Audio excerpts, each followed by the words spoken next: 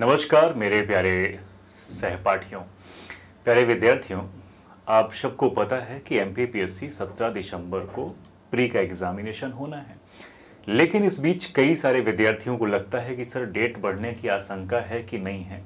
तो मेरे बच्चों, इस र्यूमर्स में आपको बिल्कुल भी नहीं जाना है कि डेट बढ़ेगी। मुझे नहीं लगता है कि एमपीपीएससी इस बार किसी की सुनने वाला है। क्योंकि आप सबको पता है कि मार्च, अप्रैल में एक नई तारीख फिर से आपको प्रारंभिक परीक्षा की नई वाली दे दी गई है। तो इससे अच्छा है कि आपको दूसरा चांस भी मिलने वाला है चार महीने बाद तो आप उस चांस की तरफ़ ना देख के इसी वाले चांस को बेहतरीन तरीके से, जैसा कि आप अब तक पढ़ते आए हैं, उसी प्रकार से पढ़ते रहिए। अगर डेट बढ़ डेट बढ़ जाती है तो भैया अहोभाग्य आपके।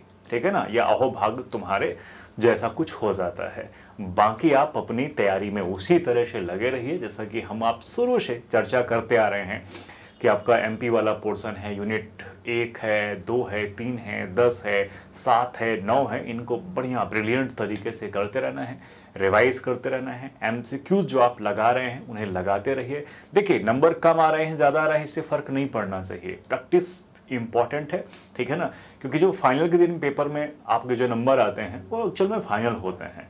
टेस्ट सीरीज़ का एफएलटी में नंबर यदि कम आ रहे हैं तो इसका मतलब बिल्कुल मत सोचिएगा कि आपका पेपर नहीं निकल रहा है, निकलेगा। 40-40 नंबर लाने वाले एफएलटी में भाई साहब प्री निकाल लेते हैं और 90-90 लाने वाले एफएलटी में नंबर प्री में फुसड्डी हो जाते हैं, एकदम से भैया लप्पू हो जाते हैं। तो भैया आपको बिल्कुल भी डरना नहीं है, लगे रहना है, फिर देखते हैं क्या होता है। तो डेट नहीं बढ़ेगी यही मान के चलना है कि डेट नहीं बढ़ेगी। हंड्रेड परसेंट तो यही है।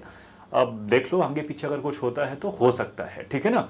और ठीक है, चलिए फिर बात करते हैं नेक्स्ट वीडियो में। तब तक के लिए सभी को thank you and all the best